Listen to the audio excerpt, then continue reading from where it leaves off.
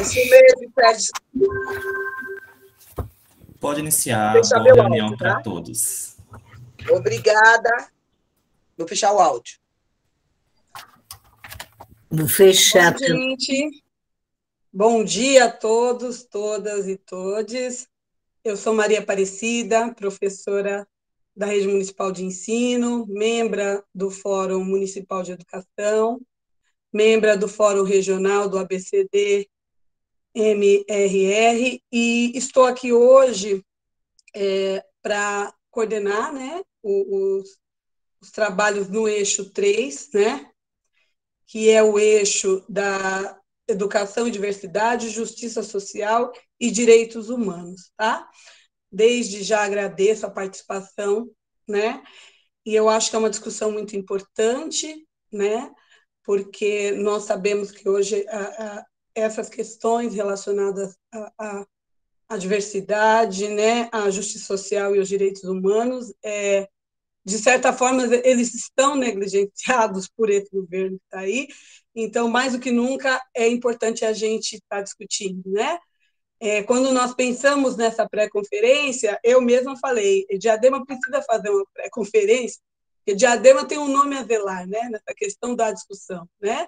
Então, a gente está retomando e, e, a, nossa, a nossa intenção é que a gente consiga fazer um, um debate bem qualificado, tá? Vou passar a palavra para a Léo, para ela se apresentar também. Pessoal, bom dia. Todos me ouvem bem? Sim? Mais ou menos, Léo. Ah, é, é a falha tecnológica. E agora, melhorou? Sim? Sim. Tem que falar pertinho aqui do fone. Eu sou a Leonarda, sou professora aqui da Rede Municipal de Educação. Estou no momento na Secretaria de Educação da cidade, né, é, ajudando na coordenação dos conselhos escolares, os conselhos institucionais. E hoje eu estou aqui com vocês, junto com a Maria Aparecida, ela vai coordenar a sala e eu vou ser a relatora, a escriba, né? Igual a gente fala com as crianças, que a gente é escriba, eles falam e a gente escreve. E nós vamos ter, nós temos uma problematização, né? Nós temos que pensar em, em que fazer para garantir essa educação, diversidade, com justiça social, inclusão e direitos humanos. O que, que a gente pode fazer? E nós vamos discutir isso e vamos transformar isso num texto. E aí eu vou pedir a ajuda de vocês para falarem devagar, com calma, Podem colocar no chat também, que eu vou observando e vou colocando aqui, e vamos construir esse texto. Depois que a gente discutir isso, nós vamos voltar lá para o YouTube, né? nós temos um outro link que foi por e-mail, nós vamos entrar lá e cada eixo vai apresentar o que, o, que o grupo é, discutiu e debateu aqui, tá? E aí, nesse caso, eu que vou falar, tá bom? Mas se alguém quiser falar também, não tem problema. Eu aceito também. Somos democráticos, tá bom? A tela travou aqui para mim algumas pessoas, mas está tudo bem, né? Tecnologic, tecnologicamente está funcionando tudo, tá bom. Qualquer coisa vocês falem aí, tá?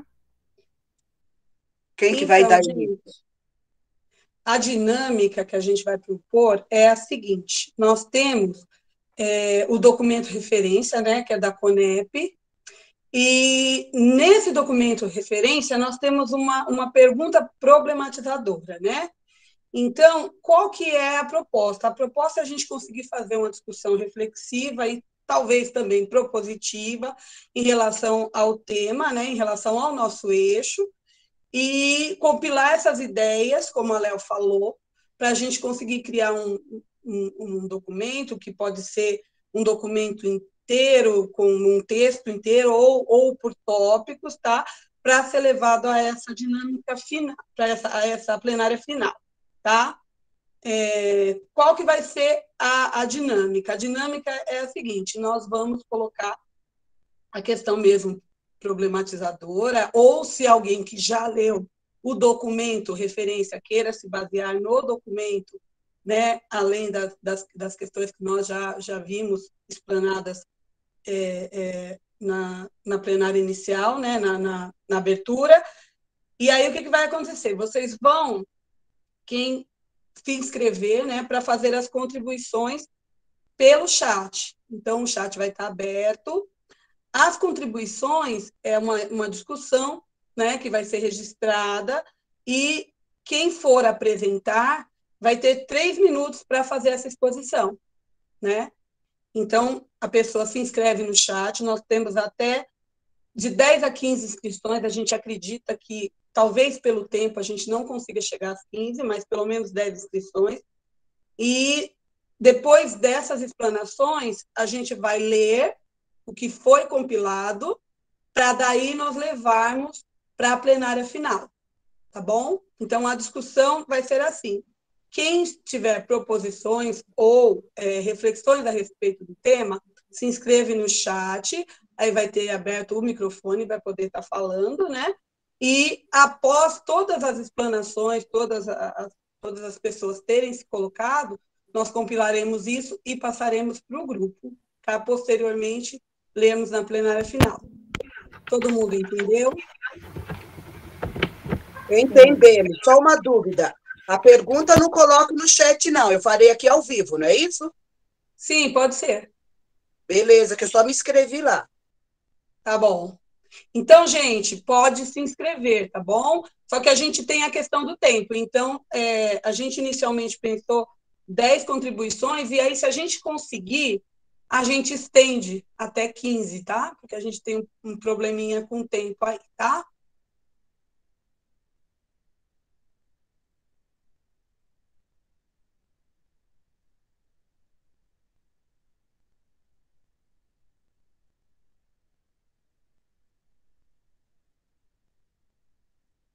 Quem vai dar o toque para quem vai começar iniciando?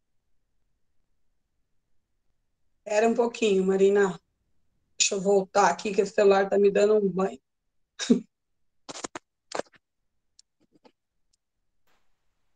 Que aí a gente faz a pergunta e faz a explanação já, não é isso? Sim, sim, sim.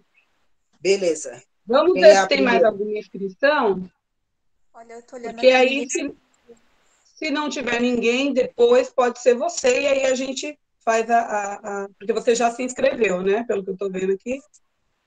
Eu estou no celular, o celular é complicado. Mais alguém, gente?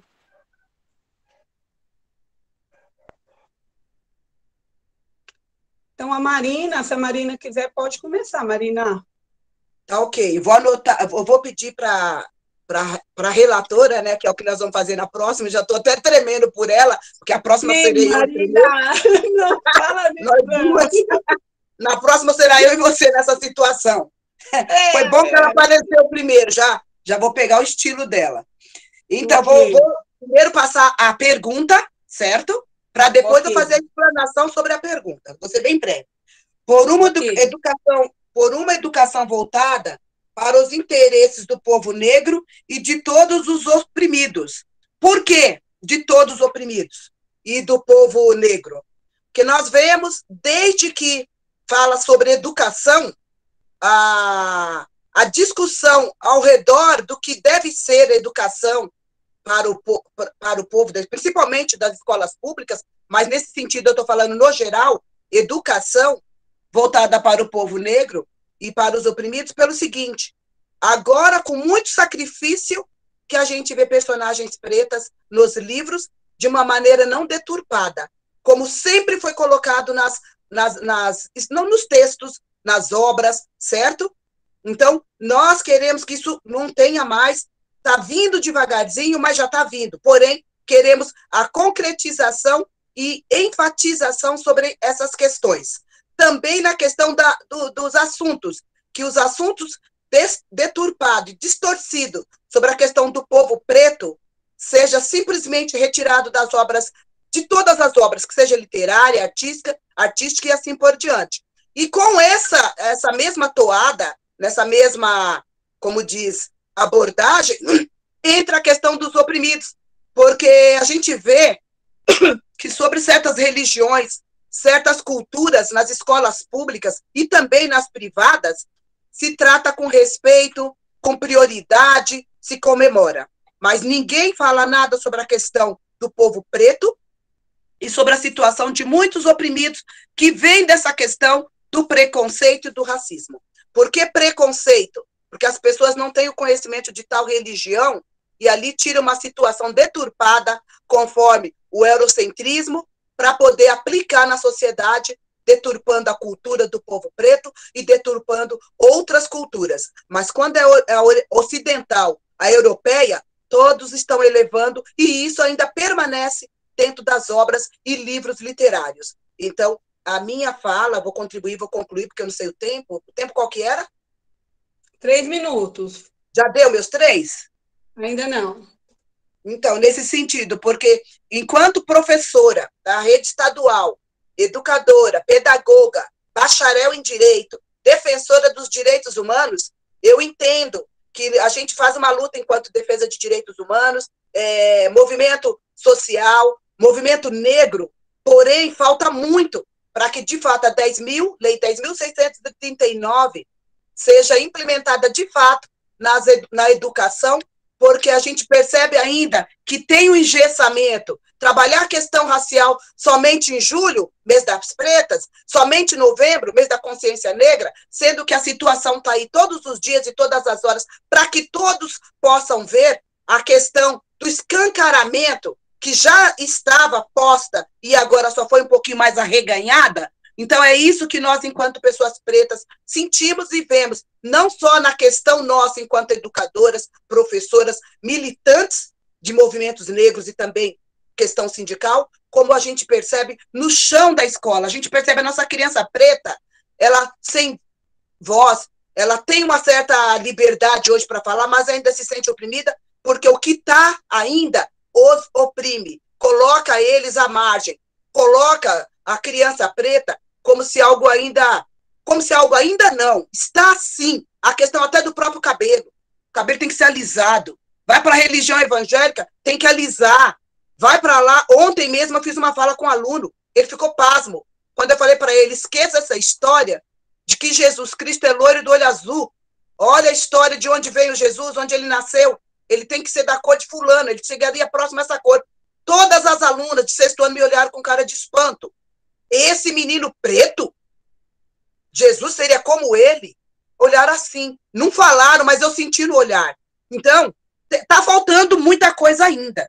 Eu vou concluir minha fala, mas é em cima dessa situação que eu venho fazer essa, essa minha defesa desse assunto para ser abordado. E cobrar isso enquanto currículo enquanto currículo, e não somente como está aí. Senão nós não vamos conseguir fazer essa transformação. E quem está sofrendo são aqueles e aquelas crianças de periferia, negras e os oprimidos que não têm conhecimento de fato do que estão fazendo com ele e o porquê fazer isso com ele. Se a gente não começar a escrever, desenhar e praticar cotidianamente. Concluo a minha fala e muito obrigada pela oportunidade. Se precisar, depois eu repito a pergunta, tá bom? Obrigada, Marina. Se você puder re, é, repetir para a gente, vai ser ótimo. Tá bem. Muito oportuna a sua fala. É, casa é. com, inclusive, com uma questão que, que talvez, se, se houver tempo, eu também gostaria de abordar, tá bom? Mas excelente. É, vamos ver agora quem mais está inscrito. Repito agora ou depois?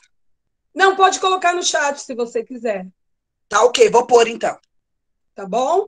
Depois tá okay. da Marina, vem o Marcondes. Eu vi aqui a. Eu. Se eu não me engano, não é? Quem se inscreveu primeiro foi o Marcondes e depois a Dagmar, isso mesmo. Sim. Vou aqui. Posso, posso começar, pessoal? Sim. Beleza. É, então, a minha pergunta é o seguinte: de que forma a escola pode ser atraente para aqueles que vivem à margem da sociedade, como, por exemplo, o público LGBT? Essa é a minha pergunta, qualquer coisa eu volto a repetir, tá? Então, vou falar um pouquinho sobre essa questão desse segmento, que é o público LGBT, do qual faço parte, do qual eu e os demais companheiros aí vêm sempre desenvolvendo algum trabalho voltado para esse público. Então, nós falamos sempre de uma escola que é humanizada, a escola tem que ser atraente, mas nós sabemos que dentro da escola existe centenas de alunos com personalidade diferente, cultura diferente, né, é, tons de pele diferente e etc. E nós sabemos que dentro dessa diversidade, às vezes, é, elas se chocam. Então, a questão da sexualidade, ela vem sempre, muitas vezes, em primeiro plano, assim como a questão racial, como a Marina acabou de falar aí, né? E muitas vezes, essa questão do, do público LGBT faz com que a escola não se sinta, as pessoas desse segmento não se sintam, é, de fato, acolhidos dentro da escola.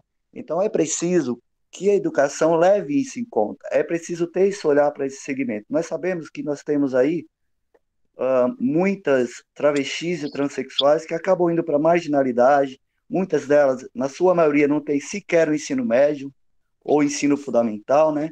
Então é preciso que a escola esteja eh, tenha um olhar assim mais humanizado para essa questão, para esse público. Então, basicamente a minha fala é essa. Ok, muito obrigado, Marconde. Se você puder também colocar lá no chat, a gente agradece. Que a Léo está relatando, e aí fica mais fácil para a gente conseguir compilar, tá bom? Mas excelente as suas colocações. Tudo bem. É, agora vamos ver quem.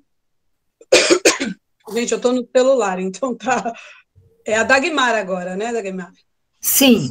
Uh, então, a minha pergunta vem em torno de como construir uma, uma escola agregadora, tá? Uma escola ao acesso e permanência, além de alunos da comunidade escolar. Então, eu vejo, a Marina colocou muito bem essa questão do currículo em relação ao que tem que estar tá na ordem do dia, tem que estar tá explícito nos livros, a questão LGBTI, a questão do racismo, a questão dos idosos, as, as questões das políticas públicas. Não é para estar no currículo, que nem eu sou diretora de escola. Eu analisei novo, os itinerários formativos do novo ensino médio. Veio de acordo com a proposta do governo. Não veio de acordo com a proposta das políticas públicas, na qual estão inseridas nossas escolas. Nós vamos ter que ter uma saída coletiva para essa situação, porque vai ficar complicado trabalhar o ano de 2022 com o novo ensino médio, que além de expulsar professores da escola, vai também tirar a consciência dos nossos alunos diante desses itinerários formativos. É por isso que eu quero debater aqui uma escola agregadora com acesso da comunidade para poder ter essa interferência, né? Eu, porque a gente defende, eu, enquanto diretora, eu procuro trabalhar uma educação e uma escola comunitária, mesmo sendo da rede pública estadual. Uma escola antirracista. A gente trabalha muito a questão do racismo, a questão do idoso, porque eu sou uma diretora idosa, a gente que trabalha muito a questão do idoso, a questão do LGBTI, enfim, todas as políticas públicas aí. A gente está começando a trabalhar a escola pública, na minha, a economia solidária, tá? A gente está querendo agora ter parceria com as universidades e também com as comunidades locais, com o comércio, que, que está em torno da escola. Então, gente, eh, eu infelizmente eu vou me aposentar, mas vou continuar dentro do sindicato batalhando essa escola que eu tanto que eu procuro fazer minimamente, né, onde eu dirijo, né, mas tenho problemas com o governador Dória, né? Porque a gente tem que traçar aqui novos caminhos organizacionais e transformadores, entendeu? Porque o que, que a gente ainda vê na escola pública estadual? Não sei na municipal. Eu gostaria que depois alguém falasse. A gente ainda vê punição aos alunos. A gente não vê diálogo. A gente não vê abordando temas integradores. A gente só vê. Eu, ontem mesmo eu presenciei já professor, infelizmente, já mandando aluno para a diretoria para eu dar uma punição. Então, nós temos que trabalhar muito isso, e eu acho que a justiça social, os direitos humanos aí vai ter que estar num trabalho coletivo conosco, tá bom? Por enquanto é isso. Cida, seu som está desligado. Obrigada, Dagmar. Excelente contribuição. Deixa eu ver agora quem está no chat. Na sequência está a Sandra, a Sabrina e depois a Vivian. Então pode ir você. É a Sandra primeiro? Isso. A Sandra, depois a Sabrina e depois a Vivian. Olá. Então pode ir dia. a Sandra. Bom dia a todos. Dia. Eu gostaria de deixar ressaltado que a minha área de acúmulo é a área da, da educação das pessoas com deficiência, né? Então, nesse dentro desse tema, Uh, a gente sabe que, dentro de todo o contexto político que, que, muito bem falaram todos os expositores, houveram grandes lobbies de, dentro dessa onda privatista com uma proposta de retorno à escola especial exclusiva ou à escola segregacionista, né? Numa, uh, falando com um tom mais forte, com uma tinta mais vermelha, né? Para todas as pessoas com deficiência. A escola especial, ela tem um lugar ainda no contexto atual, ela existe, ela tem uma expertise, a gente não pode negar né, essa expertise, mas um retrocesso de, uma, de um avanço tão recente, né, que a gente teve a nível federal, apesar que em Diadema isso já ocorre há 30 anos quase, né, a, a, a inclusão educacional é bem mais antiga que as normas federais. Então, que tipo de ação a gente pode encaminhar para estancar, reverter, parar, obstruir essa onda privatista, uh, tirando o direito de acesso à pessoa com deficiência à escola pública. Né?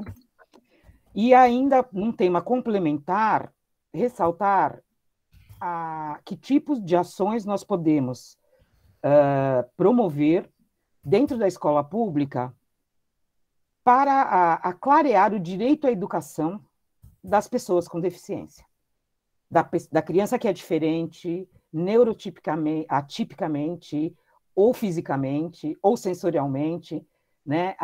Alguns professores ainda não entendem o, o direito de acesso, o que compromete o direito de uma permanência com qualidade. Né? Então, que tipo de ações nós podemos aí encaminhar para reverter esse quadro também? Minimizar, clarear, aproximar, integrar, né, agregar como aí verbos que muitas pessoas usaram. É, é essa a minha contribuição. Muito grata. Obrigada, Sandra. Muito boa a sua contribuição. Quem é agora, Léo? Agora é a Sabrina.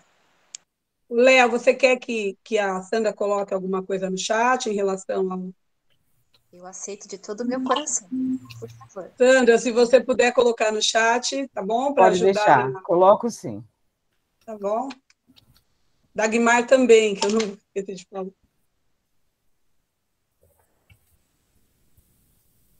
Eu coloquei Bom dia a todos no chat. Ok. É, eu sou a Sabrina, né? Eu vou deixar mais uma contribuição de, de reflexão. Vou tentar formular uma pergunta e eu coloco no chat para vocês. É, eu até encostei o carro aqui que eu estava dirigindo.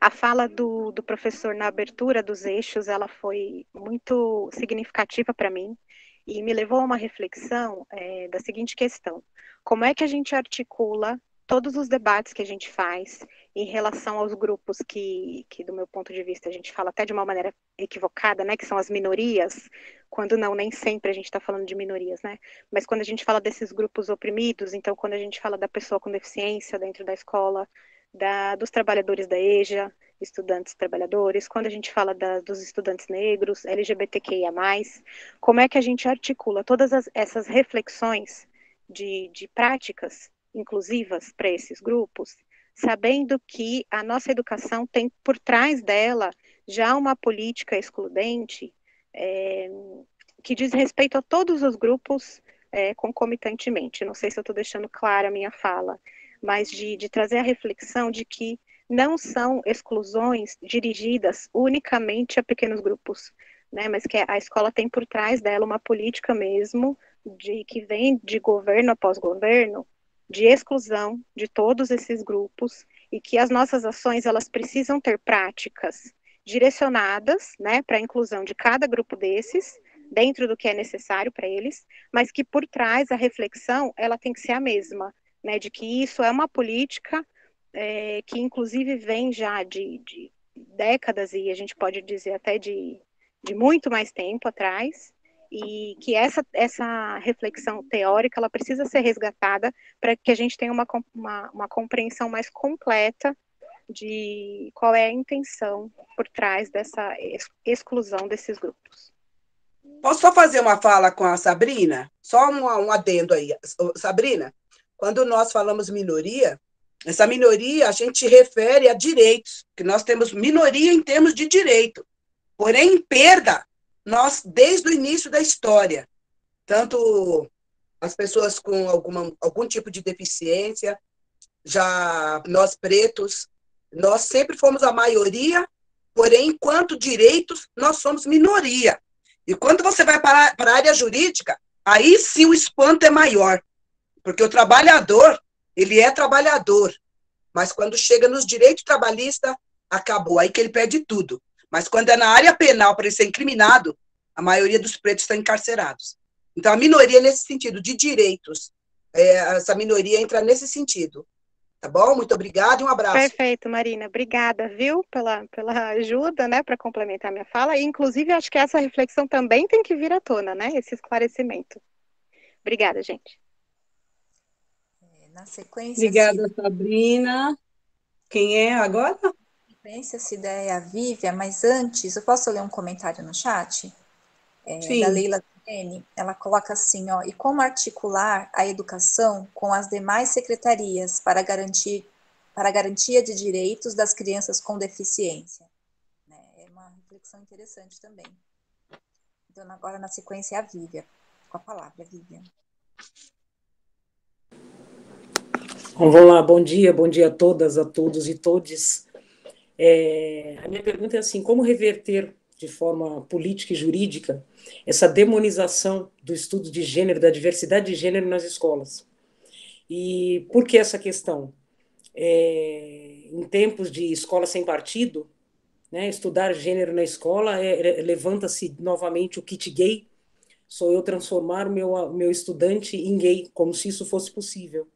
Sendo que, na realidade, é, trazer o assunto gênero para as escolas é discutir gravidez precoce, é discutir equidade de gênero, é discutir feminicídio, é discutir LGBTfobia, sim.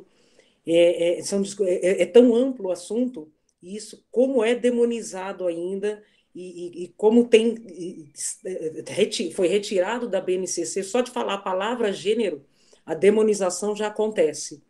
E aí, como combater isso? Com detalhe: o quanto nós precisamos que isso seja revertido para trazer cada vez mais formações, cada vez mais compreensão para os professores, porque a escola ainda perpetua uma série de ações que segregam, que, que, que, acusam, é, é, num país que mais mata LGBT no mundo sem ter leis homofóbicas. Nós não temos leis oficiais, mas o número de mortes está aí para todo mundo ver. Então, a grande pergunta é essa: como reverter isso de uma forma formal? Obrigado, gente. Obrigada, Vivian. Estou fazendo uma parte ao que você colocou. É, no nosso plano municipal de educação, é, essa questão ela está demonizada também, né? É algo que a gente precisa discutir nesse âmbito mais é, é municipal, porque tem um, uma parte do nosso plano municipal que ele deixa muito claro que não se toca nesse assunto, né? E a gente fica, né, impressionada, né, com isso e, é uma discussão que precisa ser feita e de coisas que precisam, inclusive, é, é, ser modificadas, né? No, no, no campo, na, nessa questão do, do, nosso próprio plano municipal de educação, né? Então, é, é uma discussão que é a nível nacional e que a nível municipal ela está muito, muito destacada, né? Não se fala em gênero em Diadema pelo plano municipal. Então, Obrigada, é isso mesmo. Pela... E, e, e, a gente se assusta, né? Se assusta e... muito, assim, tem, tem brechinhas, eu fui lá caçar ponto por ponto, tem brechinhas, mas a minha questão é assim, nós não precisamos, nós não temos que ficar caçando brechinhas. Isso precisa ser retirado, urgente. Exato. Exato. Obrigada, é Vivian. É, é importante lembrar que nós temos uma coordenadoria que acabou de ser, de ser criada, né? Que vai ser voltada para esse público aí. Vamos ver se a gente consegue mudar essa realidade aí na rede municipal. Sim. Se teremos você puder de mudar, mas teremos de fazer um, como diz, um grupo muito forte, sem medo de, de, de apanhar ou de perder, para fazer essa revirança. Sabe por quê? Senão é, é como diz, é chover no molhado. Exato. Vivian, se você puder colocar a questão lá no chat, a gente agradece também para fazer a compilação, tá? Quem é agora, Léo? Agora é a Ana Paula. Bom dia. Eu quero fazer também uma reflexão. É, assim, a gente fala dos oprimidos, né? Eu acho que uma grande problemática que ocorre aí é que continuamos é, tentando colocar essas pessoas como iguais, tornar elas iguais. E achamos que assim estamos fazendo o correto. Mas a gente tem que é, ensiná-las que é na diferença, na diferença que nós temos que se fazer presente, se fazer como pessoas, como humanos, como únicos. E aí é, a questão é como trabalhar isso né, na sala de aula. E para trabalhar isso na sala de aula, eu acho que a gente tem que ter consciência, tem que ter clareza, tem que ter o contexto histórico, ter esse conhecimento e tratar com liberdade, com flexibilidade. É lógico que muitas coisas são novas e a gente tem que estar aberto para essas novidades.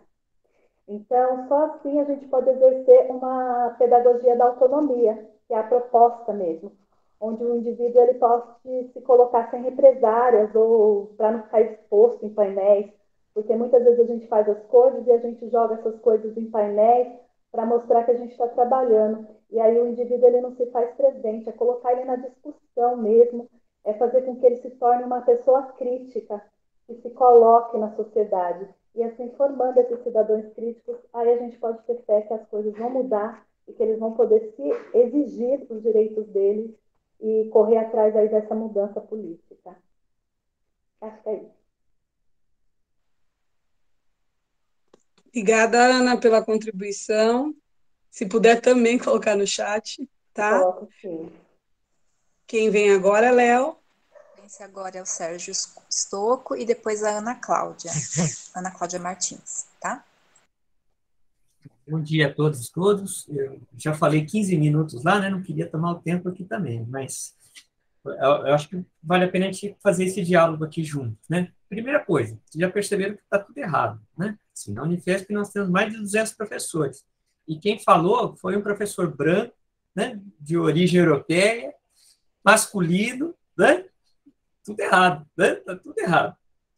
Uh, mas ainda assim, por mais que eu tenha ah, o trabalho, a identificação, né, tendo vindo da periferia, a gente precisa conseguir recolocar as marcas né, dessa opressão e desigualdade, porque a opressão afeta todos.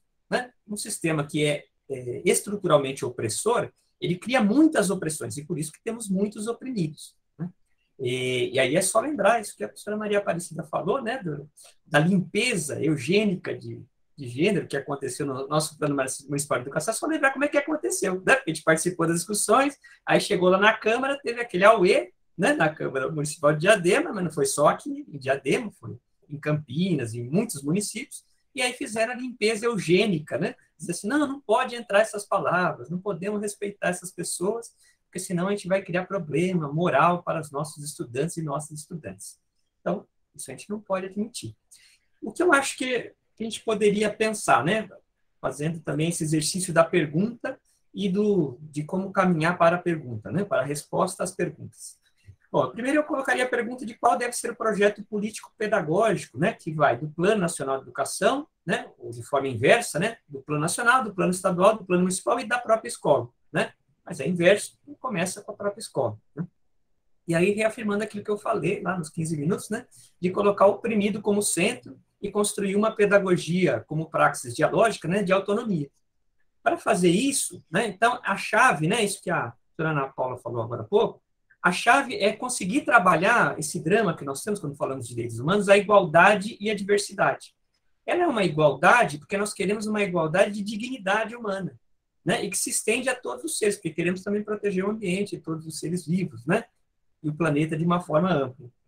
Então, ela é uma dignidade igual, porque é uma, uma, uma é, é uma igualdade porque ela protege uma dignidade que tem que ser para todos e todas e todas. Mas ela tem que ser respeitosa da diversidade, ou seja, não pode ter apagamento. Né? Não pode ser igualdade porque apaga as diferenças, né? porque apaga as identidades. Então, é perfeitamente combinável. A igualdade ela é natureza política. Né? Ela é igualdade porque nós queremos que todos tenham a mesma dignidade. Não pode ser mínimo, né? como disse a professora Maria, não pode ser mínimo o direito. Né? E aí, uh, para seguir nesse caminho, eu acho sempre, né, questão de de reforçar aquilo que foram as lutas do passado, né, que nós temos que seguir as orientações lá do plano né, de educação e direitos humanos de 2007 e as diretrizes, aquela lá da resolução de 2012, né, que promove uma educação para os direitos humanos, e aí ele tem, tem eixos de desenvolvimento. Né? Então, o primeiro eixo é normativo institucional. Então, quando a professora colocou aqui no chat, olha, e como é que junta isso lá, né? Como é que a educação conversa com a saúde, conversa com os outros aquele processo intersetorial da política, isso tem que ter um desenvolvimento institucional e normativo. Ou seja, a gente tem que começar cada vez mais a conquistar garantias normativas, né? Dizendo assim, não, tem que aprovar a lei, tem que aprovar a normativa, tem que pôr na proposta curricular, né? Isso que vocês já falaram. Tem que estar tá lá a garantia para todo mundo saber.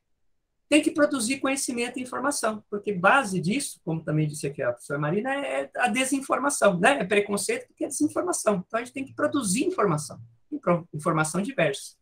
Tem que realizar parceria.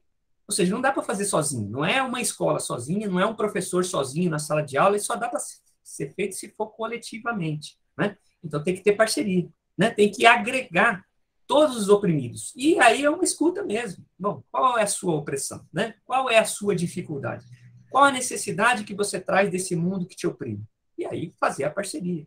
Tem que ter produção de material, ou seja, tem que ter a nossa linguagem. Né? O oprimido tem que produzir a sua própria linguagem. Né?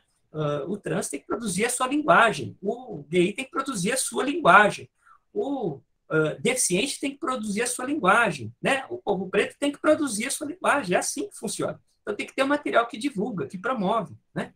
Tem que ter formação e capacitação dos profissionais. Né? Porque, como dissemos, né, está lá na lei. Nossa lei é muito cidadã. O problema é a parte econômica, né? como disse o professor Daniel. Ela é cidadã, mas ela não dá dinheiro para fazer. Então, tem que capacitar os profissionais para que cumpram aquilo que está colocado. Tem que ter gestão de programa e projeto, ou seja, tem que interferir como política. Ou seja, então, esses oprimidos eles têm que ir para o centro do poder também. Não adianta mais ficar elegendo os brancos, europeus, colonizadores, né? os ricos, não adianta Enquanto for isso, não vai funcionar, né? não vai ter representação. E tem que ter avaliação e monitoramento. Porque esse processo depende de acompanhamento contínuo. Então, não é assim, a gente luta, corre, como aconteceu no PME, né? vários municípios. Corre, se mobiliza, discute, fica todo mundo animado, aí chega lá na Câmara, vota outra coisa. A Câmara se vê no direito de mudar várias coisas. Então, não pode. Tem que ter avaliação e monitoramento contínuo para seguir o que está implementado como princípio. Então é isso, eu vou colocar no chat. Obrigado. Obrigado, professor. Nós só temos um probleminha, Léo, é em relação ao tempo. Você sabe se aqueles que se o tempo que a gente teve a mais na palestra inicial, é, a gente vai ter também no grupo? A mais não, né? O, o, aqui a gente também vai, vai ter que sair agora ou vai ter um tempinho maior?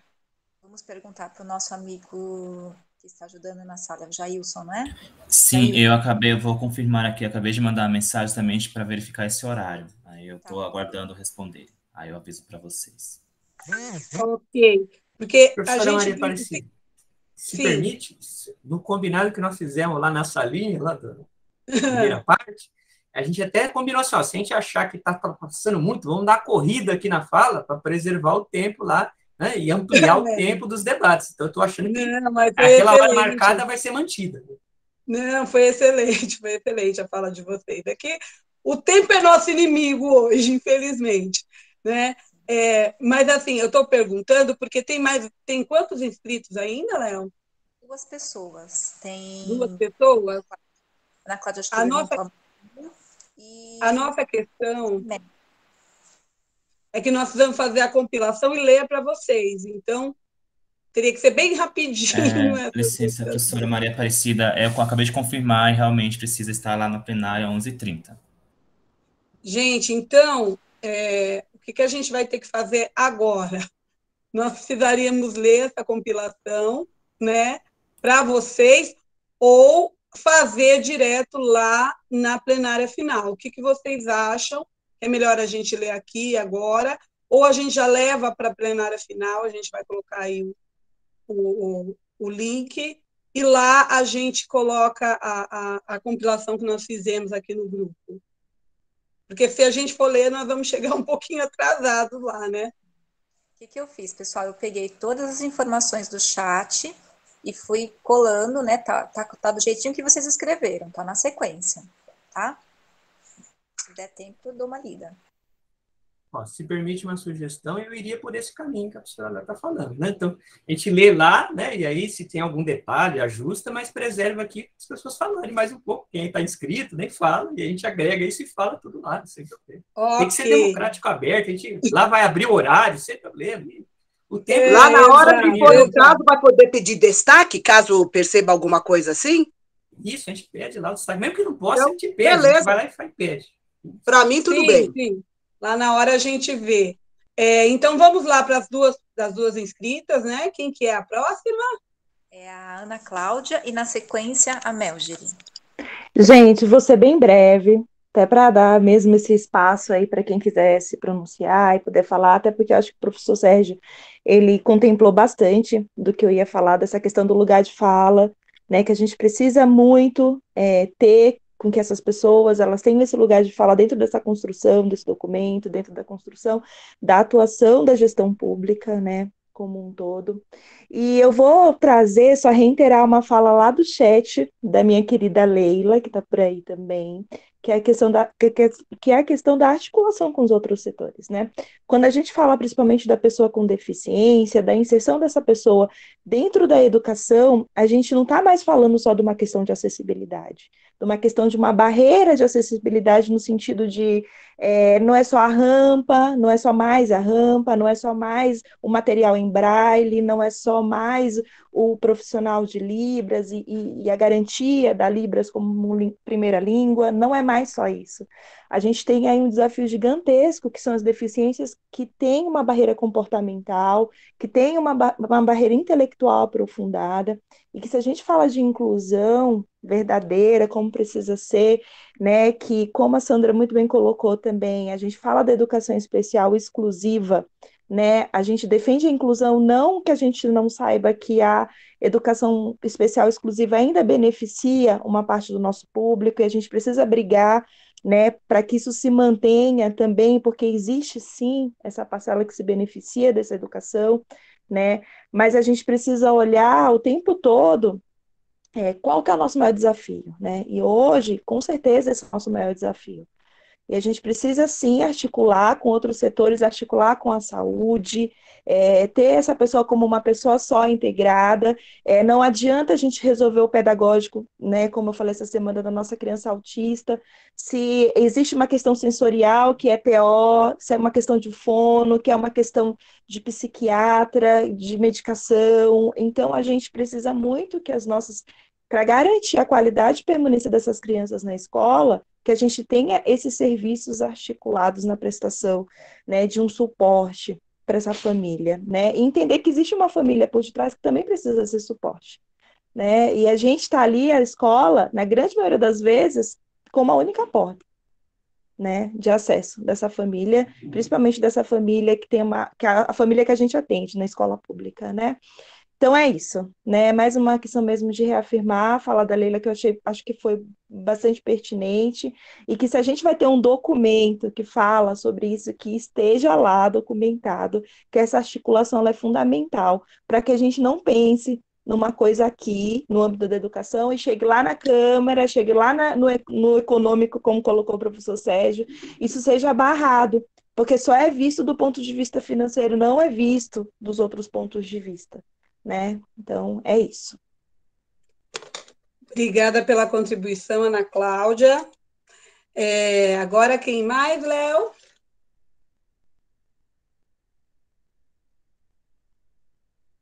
Léo? Estou falando com o microfone desligado, desculpa. a Ana Cláudia era a última. Ninguém mais se inscreveu. Ah, ok. Então, gente, Agora nós podemos fazer dessa forma. A Léo já compilou, né, Léo? Isso, copiei, tá tudo aqui copiadinho. Aí, quando a gente voltar lá para a sala, o que, que vai acontecer? É, eu vou expor, eu, coloquei como as perguntas, tá? E aí, se ficou alguma coisa que ficou faltando, vocês pedem a palavra e, e complementam. Pode ser? Aliás, tá uma delícia essa discussão, né? Eu queria fazer mais horas. Ô, Léo, é Léo, dá, tempo, dá tempo de eu dar só uma palhinha? Mel, Mel, é a Mel agora, Maria, desculpa. Isso. Não, é rapidinho. Pode é, falar. Eu faço parte, eu sou uma agente de cozinha dentro da, da unidade escolar. Sou uma mulher negra. É, na minha família, desde pequena, eu tenho é, pessoas que são LGBT, minha, minhas tias.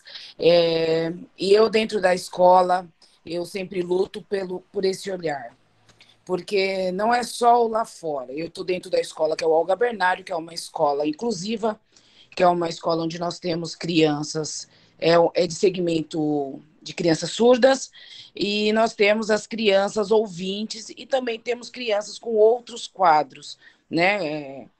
E eu acho que a criança ela é aberta, ela é aberta, ela não, ela não tem preconceitos, porque lá eu vejo elas brincando, unicamente com a surda, e às vezes eu vejo as ouvintes, quando eu vou chamar a atenção, ela responder com sinal de desculpa, o sinal de libras. E eu acho que tem que construir dentro do, da formação, porque o olhar de exclusão, às vezes, vem do funcionário, do, do próprio corpo letivo, sabe, da direção, para mim, que estou ali dentro da cozinha, eu, eu sou formada em RH e agora eu tô o ano que vem eu já me formo em pedagogia também e logo espero estar atuando. Então eu vejo que há possibilidade, mas existe a barreira. Mas enquanto eu estou ali atrás das panelas, no olhar do recreio, na hora que eles estão livres para ser o que é, é, é muito mais próximo a discriminação, a diferença. E, e eu vejo ali na onde eles têm que aprender, é, na hora de apontar, ah, aquele aluno é diferente. Às vezes tem uma professora que é homossexual, eu vejo outra colega de trabalho ou de outra função chegar e falar, olha lá, a sapatão ou gay. Então, isso realmente é um câncer e tem que tirar de cada um. Então, tem que ser uma luta e colo ser colocado, é, lutar, se unir e tentar buscar uma forma disso começar a aparecer na parede, na lousa, em todos os lugares. Então, eu queria dar esse essa, essa brechinha aí. Porque, infelizmente, a indiferença é próxima, é muito próxima, tá bom? Só isso. Obrigada, Léo. Agora a gente precisa ir voando para outra, para a plenária final. Já me ligaram aqui. Muita gente. Gente, gente, muito obrigada. Muito obrigada. Muito excelente, excelente debate. Muito obrigada. Obrigado, gente. Tchau, tchau. YouTube, pessoal. Muito obrigada, viu? Obrigada. obrigada.